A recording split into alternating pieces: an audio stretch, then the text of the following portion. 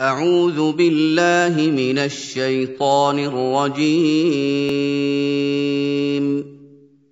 بسم الله الرحمن الرحيم.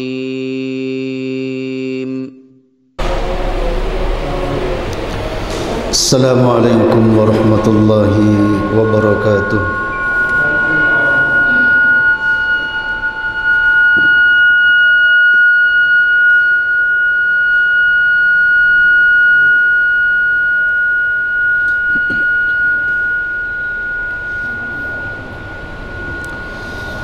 إن الحمد لله نحمده ونستعينه ونستغفره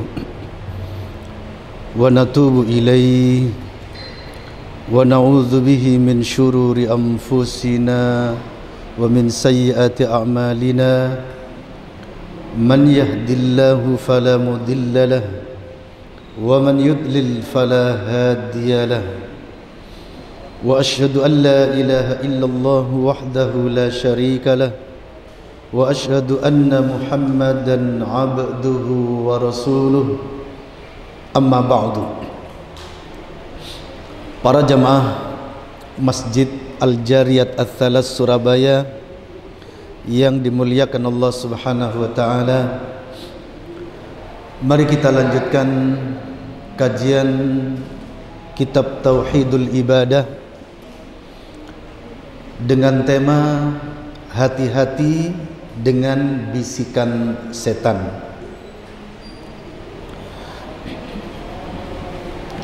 Ma'asyiral muslimin rahimani wa rahimakumullah.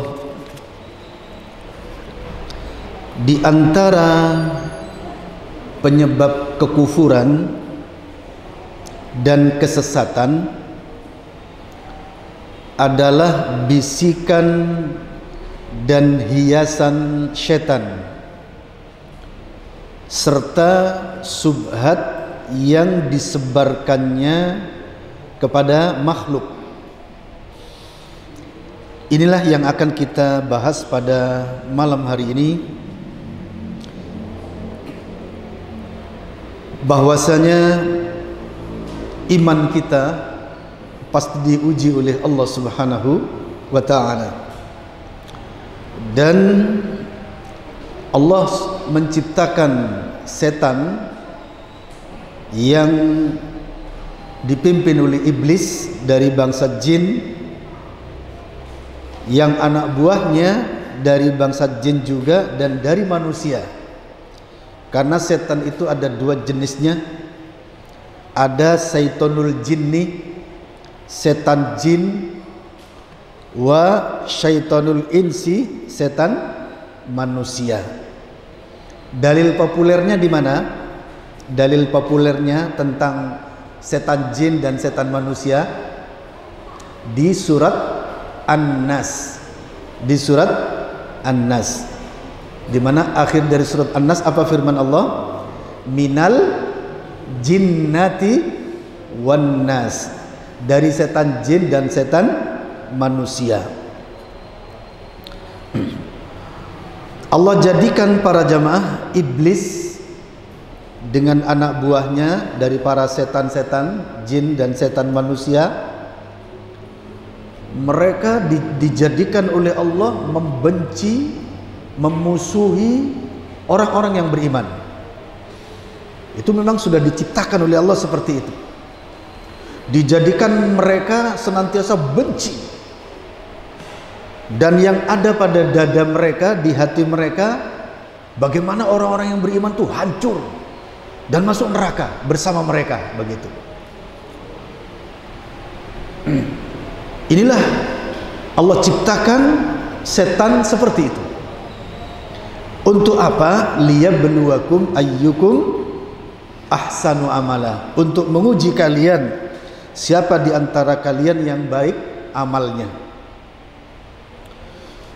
Pada saat Allah menciptakan Nabi Adam alaihissalam maka Allah perintahkan kepada iblis dan pasukannya minal malaikati dari para malaikat yang saat itu mendapatkan tugas membasmi janbanul jan di mana janbanul jan itu adalah penghuni dunia ini sebelum manusia.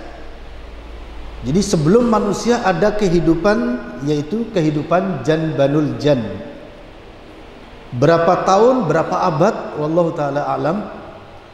Yang jelas mereka tidak ada nabinya, tidak ada nabi, tidak ada rasul. Berarti tidak ada kebaikan pada mereka sehingga berkesudahan dengan dibasmi. Peperangan, peperangan, pembunuhan, pengaliran darah yang ada pada kehidupan Jan Banul Jan.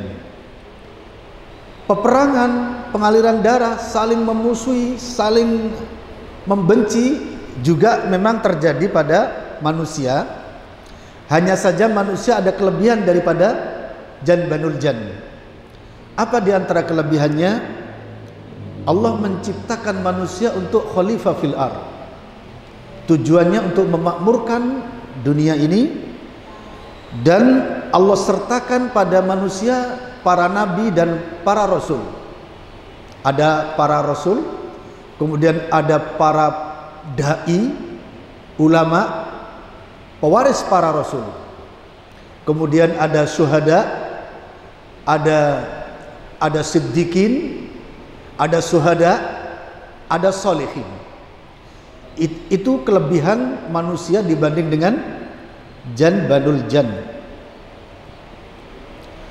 karenanya ketika malaikat saat mendapatkan berita bahwasanya Allah akan menciptakan khalifah di muka bumi malaikat sempat menyangga dengan mengatakan qalu ataj'alu fiha man yufsidu fiha wa yasfikud dima' wa nahnu nusabbihu bihamdika wa nuqaddisu lak. Qala inni a'lamu ma la ta'lamun. Para malaikat berkata apakah engkau akan menciptakan di bumi ini? Man yufsidu fiha. Orang-orang yang akan berbuat kerusakan padanya. Wayasfikud dima dan senantiasa mengalirkan darah peperangan-peperangan. Kemudian malaikat berkata wa nahnu nusabbihu bihamdika wa nuqaddisu lak. Sedangkan kami ini senantiasa bertasbih kepada engkau dan senantiasa mem memahasucikan engkau. Perkataan malaikat ini mengisyaratkan apakah tidak cukup kami? begitu. Apakah engkau masih akan menciptakan lagi makhluk yang hanya pekerjaannya itu perang-perang? Padahal kami ini senantiasa bertasbih kepada engkau begitu. Ini sanggahan daripada malaikat. Memang Allah jadikan malaikat menyangga untuk sebuah hikmah bagi kita sekarang akan penciptaan kita di muka bumi ini.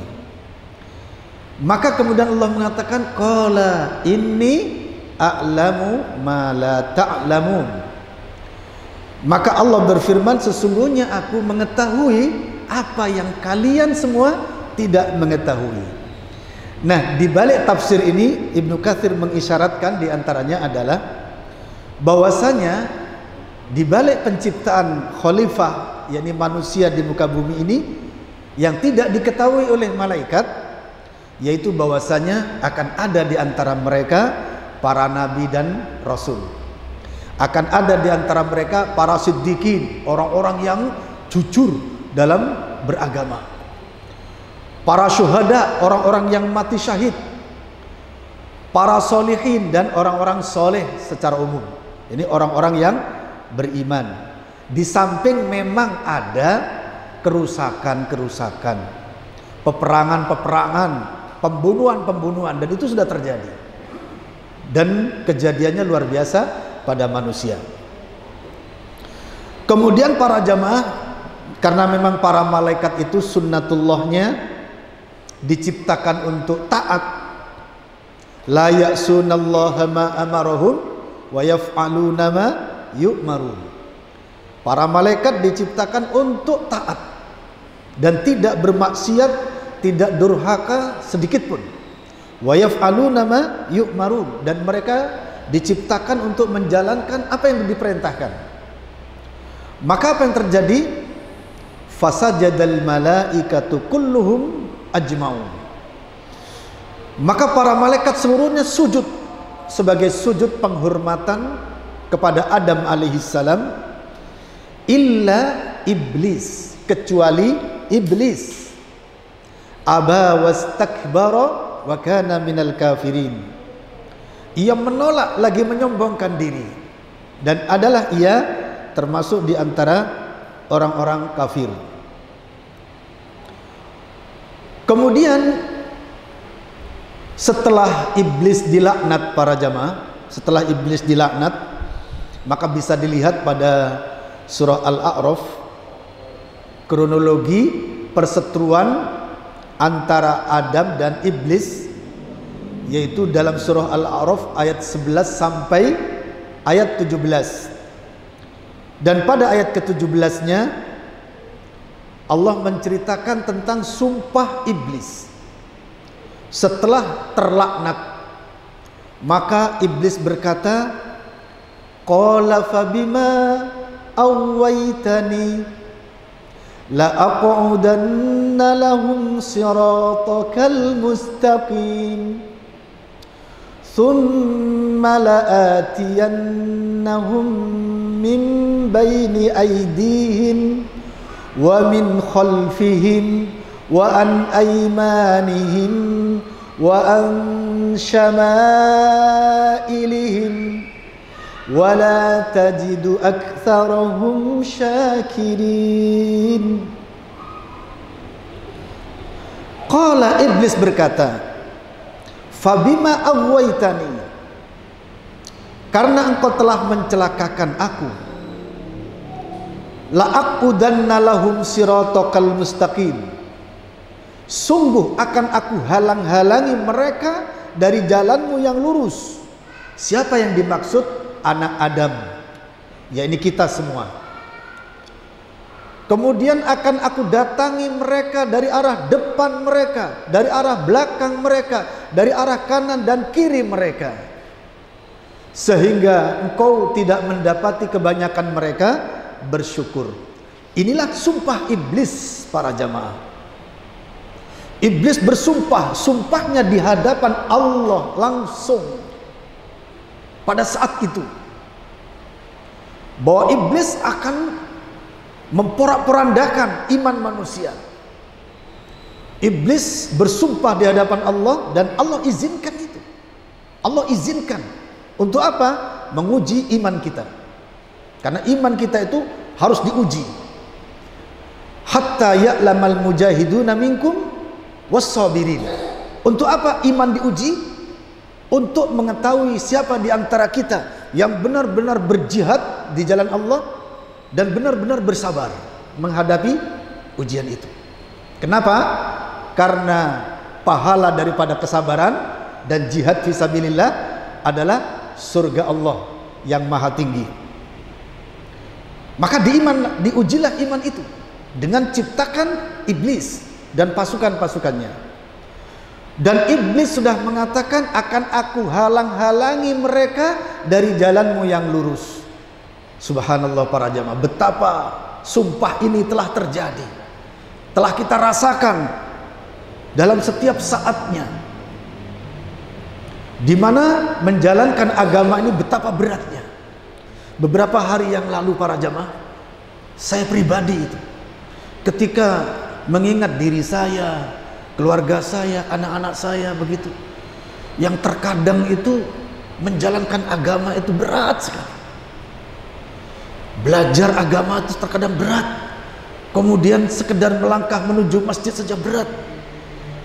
Dan untuk beramal kebaikan juga seperti ada sesuatu yang menghalangi. Saya sempat berkata begini, Ya Tuhanku, ya Allah, ternyata menjalankan agama ini berat ya Allah. Hampir-hampir kami tidak mampu menjalaninya ya Allah. Kemudian setelah itu berdoa, berilah kami kemudahan. Berilah kami keringanan ya Allah. Tolonglah kami. Beberapa hari yang lalu para jemaah, saya merasa sekali seperti haus begitu. Seakan menuju surga itu terjal sekali. dan menuju ke neraka itu licin sekali begitu. Sekali beraksi langsung terjun ke neraka. Itu masalahnya. Kalau ke surga itu sifatnya seperti sesuatu yang terjal. Ke neraka seperti sesuatu yang licin sehingga sedikit beraksi kalau nggak hati-hati terpelanting ke dalam neraka. Luar biasa para jamaah. Silakan pikir sehari-hari kita ke arah mana yang mudah? Ke arah surga atau ke arah neraka? Artinya para jamaah, ke arah beribadah, menjalankan kebaikan atau ke arah dosa dan maksiat. Menyanyiakan waktu, kemudian lupa zikir kepada Allah. Wallahi para jamaah, satu detik saja kita lupa berzikir kepada Allah, saat itu syaitan masuk ke dalam tubuh kita mempengaruhi kita, mempengaruhi hati kita, mempengaruhi pandangan mata kita, pikiran kita dan begitu seterusnya. Satu detik saja kita lupa berzikir kepada Allah, hati-hati. Apalagi sampai sekian jam sibuk hanya dalam komen, komen, komen atau apalagi sekian jam sibuk kim-kiman. Sudah iblis yang menguasai. Sekian jam cuman selfie-selfiean di pinggir laut Subhanallah, iblis para jamaah. Nauzubillah. Kelak kita di akhirat para jamaah, Allah akan bertanya kepada kita dua hal saja. Dua hal saja kata Ibnu Qayyim Al-Jauzi. Apa di antaranya? Yaitu lima wa kaifa. Lima wa kaifa. Artinya apa? Lima, untuk apa hidupmu, waktumu, nikmat yang aku berikan kepadamu, kesehatan yang aku berikan kepada kepadamu, untuk apa? Semua itu akan dimintai pertanggungjawaban satu persatu. Pandangan mata kita akan dimintai pertanggungjawaban. Pendengaran telinga kita akan dimintai pertanggungjawaban. Penciuman kita dimintai pertanggungjawaban. Ini yang terutama. Mulut kita lesan kita ini adalah pusat segala-galanya. Sampai ada ulama mengatakan al-lisanu jisrun yusiluna ilal jannah au ilan nar. Lesan ini adalah merupakan jembatan yang bisa menyampaikan kita ke surga atau ke neraka. Ini lesan Sampai di dalam hadis dikatakan wahal yakubun nasu illa hasaidu alsinatihim. Apakah manusia itu akan terpelanting terprosok ke dalam neraka kecuali karena kerikil-kerikil lesan-lesan mereka. Artinya kalimat-kalimat yang keluar dari lesan ini para jamaah mahal harganya para jamaah. Jika baik maka tercatat kepada malakul yamin, malaikat kanan jika jelek, maka malaikat simal yang mencatat. Tidak ada satu huruf pun yang keluar dari mulut kita melainkan dicatat oleh Rokibun Atidun. Malaikat yang senantiasa siap mengincar dan siap mencatat. Rokib artinya malaikat yang senantiasa mawas diri 24 jam melihat. Atid yang siap mencentang. Kapan kita bergerak, beraksi, mengeluarkan kalimat A, B, C, D, semua ada artinya. Surga atau neraka. Allah mengatakan dalam Al-Quran apa? Ma yalfidhu min qawlin illa ladaihi rokibun atid. Tidak ada sesuatu yang terlafatkan dari mulut ini melainkan padanya ada rokib dan atid. Rokib artinya malaikat yang senantiasa siap siap menjadi CCTV kita. Dua malaikat ini kanan dan kiri ini 24 jam. Ibaratnya kita itu dipandang selama 24 jam. Inilah rokib. Kemudian atid yang siap. Sehingga tidak ada amal kita, ucapan kita yang tidak terekam oleh mereka. Tidak ada satu kata pun, satu huruf pun. Maka hati-hatilah. Dan setan akan berusaha untuk agar kita ini hancur. Dihalang-halangi dari jalan Allah yang lurus. semua jalur-jalur kebaikan saat ini, sekarang ini, di mana pun di dunia ini diobok-obok oleh syaitan. Jalan Quran dan Sunnah diobok-obok dengan datangnya torekot sufia, datang torekot ini, torekot ini, torekot ini. Ide ini, ide ini, ide ini. Sehingga seakan-akan yang dari Quran dan Sunnah itu nggak laku. Seakan-akan yang datang dari Sunnah yang Quran itu nggak relevan untuk saat ini. Seakan-akan gak cocok untuk hari ini. Sehingga manusia lari kepada torekot-torekot. Torekot ini, torekot itu. Sehingga manusia lari kepada pendapat orang syiah. Pendapat orang khawarij. Pendapat seorang filosof. Pendapat orang yang liberal. Pendapat yang orang yang otaknya pluralis. Di sana. Padahal kebenaran ada pada Quran dan sunnah Rasulullah Sallallahu Alaihi Wasallam. Manusia sengaja dijauhkan oleh oleh iblis dari keaslian Islam. Keaslian Islam ada di mana para jamaah? Keaslian Islam ada pada Al-Quran dan Sunnah Rasulullah Sallallahu Alaihi Wasallam. Allah menegaskan dalam surah Muhammad ayat 33, A'udzu billahi minasy syaithanir rajim. يا أيها الذين آمنوا أطيعوا الله وأطيعوا الرسول ولا تبطلوا أعمالكم Artinya, wahai orang-orang yang beriman, taatilah Allah, taatilah Rasul. Dan jangan kalian batalkan amal-amal kalian. Di sini Allah Subhanahu wa taala memerintahkan taatilah Allah, taatilah Rasul, artinya apa? Kembalilah kepada Al-Qur'an dan sunnah atau al-hadis. Kemudian Rasulullah Shallallahu alaihi wasallam mengatakan, "Man amila amalan laisa alaihi amruna fahuwa raddun." Rawahu Muslim yang artinya barang siapa mengamalkan suatu amalan yang di atas namakan Islam yang tidak ada padanya perintah kami di Al-Quran gak ada, di Al-Hadis juga gak ada apa akibatnya? fahuwa raddun maka dia tertolak artinya tidak diterima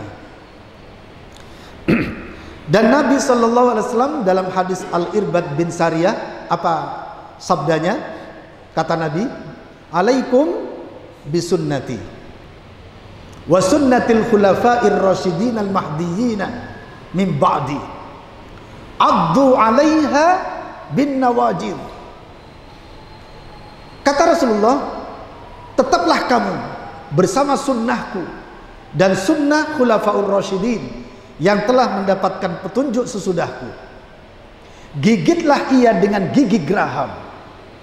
Rasulullah memerintahkan agar kita memegangi, menetapi sunnahnya dan sunnah khulafaur rasyidin bukan dengan katakan pegang erat-erat dengan tangan, tapi gigitlah dengan gigi geraham.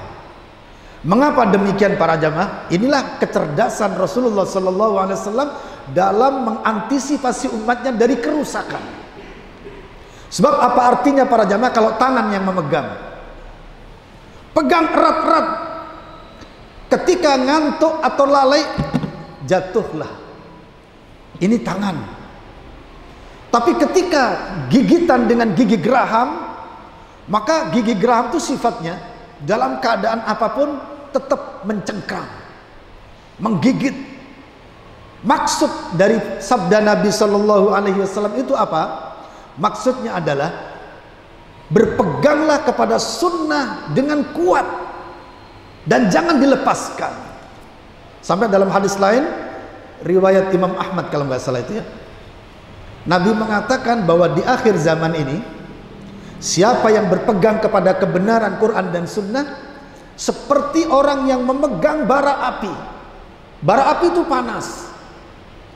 Ketika dipegang panas, ketika diletakkan matilah dia. Maksudnya gimana? Ini menunjukkan bahwa berpegang kepada kebenaran Quran dan Sunnah itu terutama di akhir zaman seperti sekarang ini berat. tantangannya berat, ujiannya berat. Itulah yang dimaksud panasnya. Itulah yang dimaksud panasnya. Kemudian ketika kita misalnya takut dengan ancaman, takut dengan teror, takut dengan apa namanya eh, berita-berita hoax mereka, lantas sunnah kemudian diletakkan, di, maka matilah sunnah kita. Jatuhlah kita kepada ahlul bidah, ahli bid'ah. Kalau sudah jatuh kepada ahlul bid'ah, apa kata Nabi? Kullu bid'atin dolalah. Setiap yang bid'ah adalah sesat wa kullu dolalatin finnar. Setiap yang sesat pasti di neraka. Itulah para jamaah tujuan daripada iblis. Iblis mengatakan dan akan aku datangi mereka dari arah depan, belakang, kanan dan kiri. Apa maksudnya para jamaah? Bahwasanya jalur hablum minan nas, jalur horizontal sudah dikuasai, sudah diblokir oleh iblis. Dan itu sudah pasti. Sehingga yang namanya jalur kemanusiaan sudah nggak ada yang baik dan benar. Jalur-jalur kemanusiaan, jalur depan, belakang, kanan, kiri sudah tidak ada yang bagus. Sudah tidak ada yang bisa dipilih. Sudah tidak normatif lagi. Sesat, sesat, sesat, sesat. Kenapa? Sudah diblokir oleh iblis. Jualan sabun saja kalau nggak gambar wanita telanjang nggak laku. Kemudian teman-teman salaf ada yang coba-coba bikin sabun. Ada teman saya di di Jawa Tengah itu siapa itu? Ustadz Ahmad kalau nggak salah itu ya. Juga bikin sabun. Tapi akhirnya yang beli juga ikhwan-ikhwan tok gitu ya. Kenapa? Gambarnya gambar apa namanya daun pisang. ya, daun pring. Masya Allah perannya. Saya lihat ya, cemplang sekali, cemplang memang. Ya, tapi kan konsumsinya memang ikhwan-ikhwan saja. Ya lumayan lah katanya cukup untuk ekonomi katanya. Masya Allah para jamaah.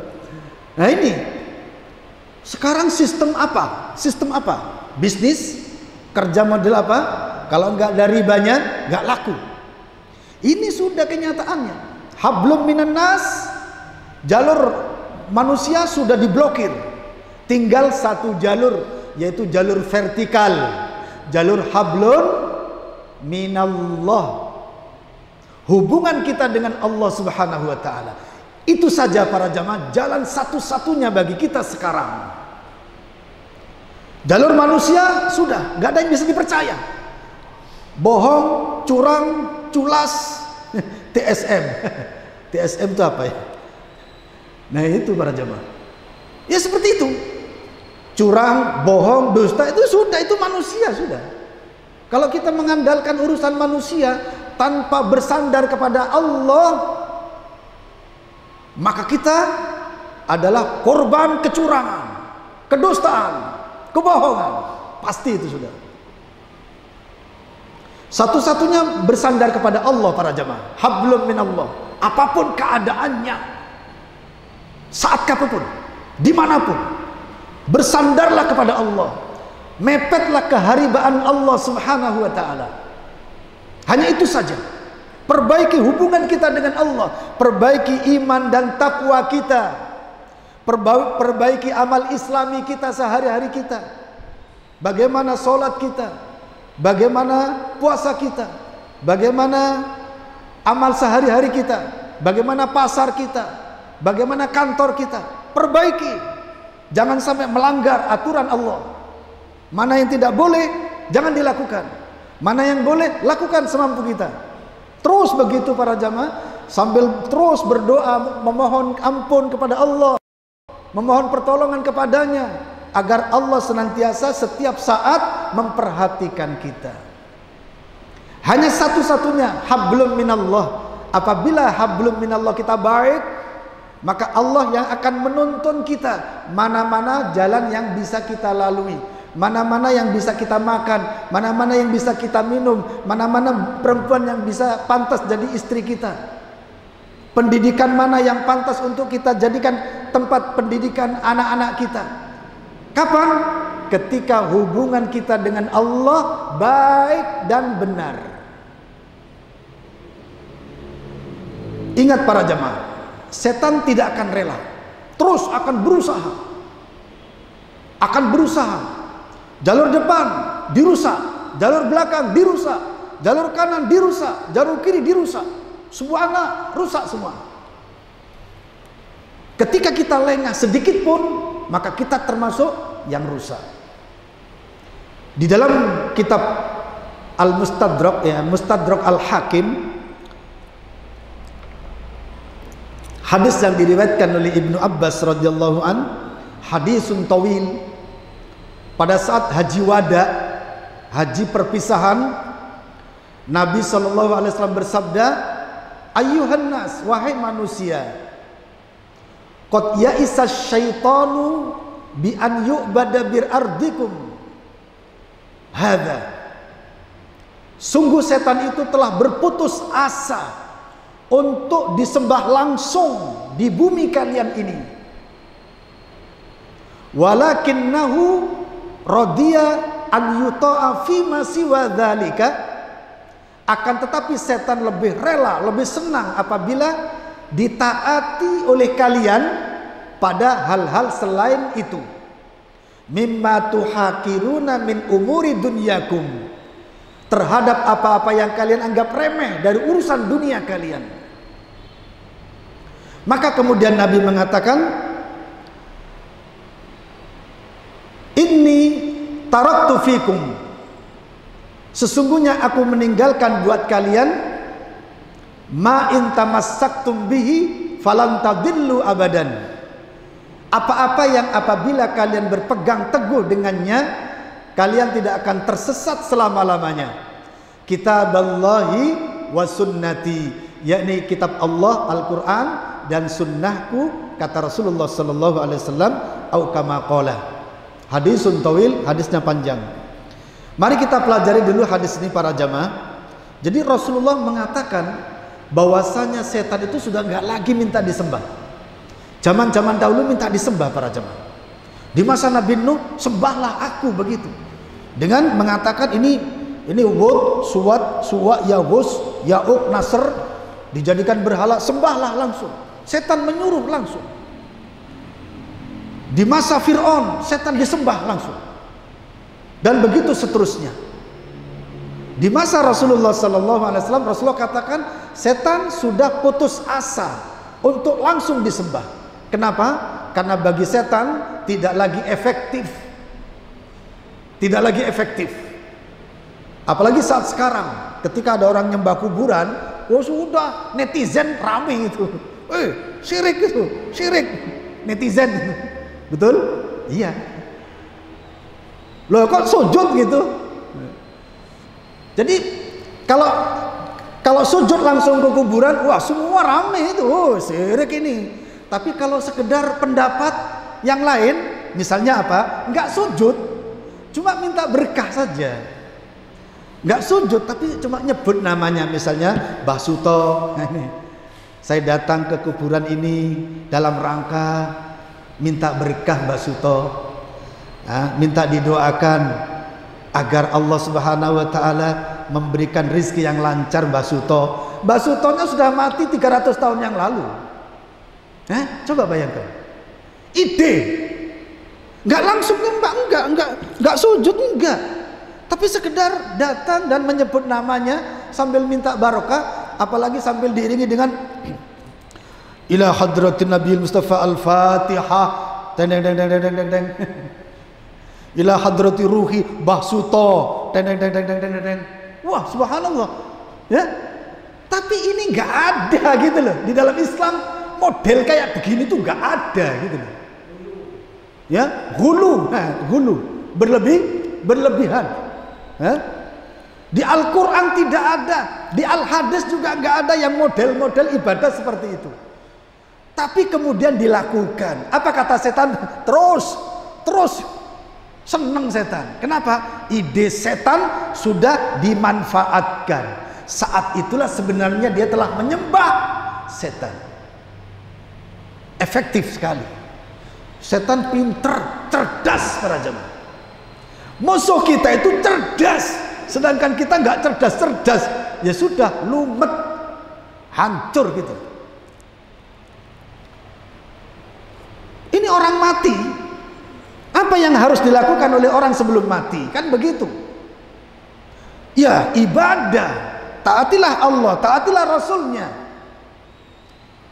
Istiqomah beribadah kepada Allah. Begitu mati, siap menghadapi segala kemungkinan. Siap menerima ampunan dari Allah Subhanahu wa taala. Kemudian oleh setan dibikinlah kacau manusia. Di antaranya agamanya diobok-obok. Agamanya dimodif oleh setan. Setelah peninggal Rasulullah, para sahabat, para para ulama sudah nggak ada, ide-ide setan dimasukkan kepada ulama-ulama yang tidak baik. Maka mereka kemudian mempunyai ide-ide, membuat ritual-ritual, baca ini sekian, baca ini sekian, baca ini sekian. Dijadikanlah satu ibadah. Sampai ada istilah apa? Ya. Ya yang ada akhirnya lan-lan itu loh para jamaah. Hah? La ilaha illallah sekian. Sallallahu alaihi Muhammad sekian. Kulhu sekian. Kul a'udzu bil falak sekian. Kul a'udzu birabbinas sekian. Kemudian baca tasbih sekian. Dijadikan satu amalan pindah-pindah rumah seminggu sekali. Jamaahnya Masya Allah. Kasnya banyak kasnya jutaan Se dalam sekian bulan sekali mereka tor wali songo mereka aktif sampai ketika sholat isya dimulai pun mereka tetap berjalan. Sengaja dimulainya jam setengah tujuh berjalanlah sampai jam setengah delapan sholat isya nanti masing-masing di rumah. Ada juga yang lupa begitu sampai di rumah nonton sinetron uh, sampai nggak sholat isya ngantuk tidur Hah? Yang lan-lan tadi, yang kumpulan tadi sudah dilakukan. Padahal tidak ada perintahnya. Saat itulah berarti telah menyembah setan. Kenapa? Ide-ide setan dijalankan. Itulah yang terjadi para jemaah. Maksud daripada hadis ini. Manusia dilupakan dengan yang asli. Quran dan sunnah. Kemudian disibukkan dengan ide, pendapat, torekot ini, torekot itu ada berapa torokot di muka bumi ini? Ratusan ribu. Ratusan ribu. Masing-masing mengatakan kami aswaja. Aswaja itu kalau benar. Kalau benar itu artinya sejalan dengan Quran dan Sunnah sebagaimana yang dipahami oleh salafus soleh maka aswaja artinya singkatan dari apa? Ahlus sunnah wal jamaah tapi kalau singkatan aswaja itu sekedar sekedar simbol, Torekot ini mengatakan kami aswaja, Torekot A, B aswaja. Padahal amalannya beda-beda. Satunya menghadap ke timur, satunya menghadap ke selatan, satunya menghadap ke barat. Baca ini sekian ratus ribu, baca ini sekian ribu. Mereka mengatasnamakan ahlus sunnah wal jamaah. Nah kalau seperti itu maka aswaja artinya singkatan dari apa? Asli warisan Jawa. Wis wong Jawa iku senengane kumpul-kumpul. Sejak zaman dulu, zaman Hindu dulu, orang Jawa sukanya apa? Kumpul-kumpul, remi, tek, cetek begitu. Kemudian diisi dengan kalimat-kalimat bacaan. Kan seperti itu. Ma'asyiral muslimin rahimani wa rahimakumullah. Setan sudah nggak perlu lagi disembah. Tapi setan lebih suka apabila ide-idenya ya, program-programnya diikuti oleh manusia. Itu artinya sudah menyembah setan. Nauzubillah. Ma'asyiral muslimin rahimani rahimakumullah. Maka mari kita kembali kepada pesan Allah Subhanahu wa taala di mana Allah Subhanahu wa taala berfirman, "Wala tattabi'u khutuwatis syaiton. Innahu lakum aduwwum mubin." Pada surah Al-Baqarah ayat 208 silakan dilihat. Allah Subhanahu wa taala berfirman, A'udzu billahi minasy syaithanir rajim. Ya ayyuhalladzina amanu dkhulu fis السلم كافة ولا تتبعوا خطوات الشيطان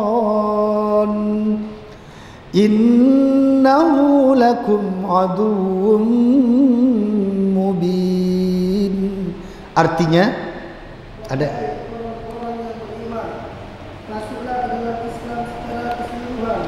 dan janganlah mengikutilah karena syaitan sungguh ia musuh yang nyata bagimu Allah berfirman wahai orang-orang yang beriman masuklah kalian kepada Islam ini dengan kafah. Wala tattabi'u khutuwatis syaitan. Dan janganlah kalian mengikuti langkah-langkah syaitan. Sesungguhnya syaitan itu bagi kalian adalah musuh yang nyata. Al-Baqarah ayat 100 eh, ayat berapa? 208 Allah memerintahkan kepada kita masuklah ke dalam Islam ini secara kafah. Artinya totalitas. Zahiran wa batinan. Masuk secara kafah artinya jadikan zahir kita ini taat penuh kepada Allah sesuai dengan yang diperintahkan.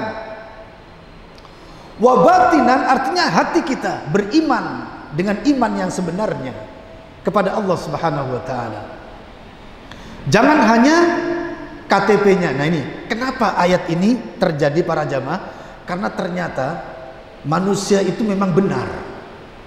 Ada di antara manusia itu yang imannya itu benar, Islamnya benar-benar bagus, zahir batin, Islam kuat, militan. Ada di antaranya yang hanya KTP-nya saja, KTP-nya agama Islam. Apalagi sekarang akan akan dihapus katanya ya, akan dihapus agama di KTP kita. Ada lagi sehari-harinya nggak menunjukkan Islam. Buktinya apa? Kepalanya pelontos terus nggak pernah, oh, nggak pernah pakai sarung, nggak pernah pakai jubah, nggak pernah pakai baju untuk ke masjid. Setiap harinya hanya cangkruan di warung kopi. Eh? Tapi kemudian ketika ada kundangan, ketika ada kundangan kumpulan ya lan lan lan itu, masya Allah para jamaah, ya, selawatan, ya yasinan, nan nan nan itu loh, tahlilan, apalagi, nah seperti itu, tiba-tiba saja pakai kopiah, pakai baju koko, pakai sarungan, kita terbelalak, eh tiba, ternyata, ternyata si kemat itu muslim ya gitu, wah baru tahu kita, bertahun-tahun hidup bertetangga nggak nggak ngeliatin dia itu muslim apa enggak dikatakan kafir Nasrani juga nggak pernah ke ke mana? Gereja. Dikatakan kafir Konghucu juga nggak pernah ke kelenteng. Uh, dikatakan kafir Hindu juga nggak pernah ke mana itu? Pura ya dikatakan Muslim nggak pernah ke masjid. Nggak pernah ke masjid. Eh tiba-tiba ketika ada undangan berkatan wah Muslim beneran Nah itu ternyata memang ada. Ternyata ada para jamaah. Makanya Allah katakan udkhulu fisilmi kafa. Masuklah kalian ke dalam Islam secara kafa. Ada juga Masya Allah sudah menunjukkan keislamannya. Pakaiannya muslim. Setiap hari ke masjid. Setiap Jumatan, Jumatan. Tapi pikirannya liberal. Masya Allah. Hah? Belum kafah. Ada seorang penampilannya muslim. Ternyata otaknya berafiliasi kepada Torekot Sufia. Masya Allah, yang namanya selawatan semalam suntuk sambil kayak orang apa kemasukan jin. Kalau ke kuburan mencium batu nisan. Eh ternyata muslim tapi mencium batu nisan. Berarti belum masuk Islam secara kafah. Merasa dirinya Islam, tapi ritual-ritual 24 jam yang dilaksanakan sama sekali tidak bersumber dari sunnah yang sahihah. Berarti belum masuk Islam secara kafah. Dan ini berbahaya para jemaah.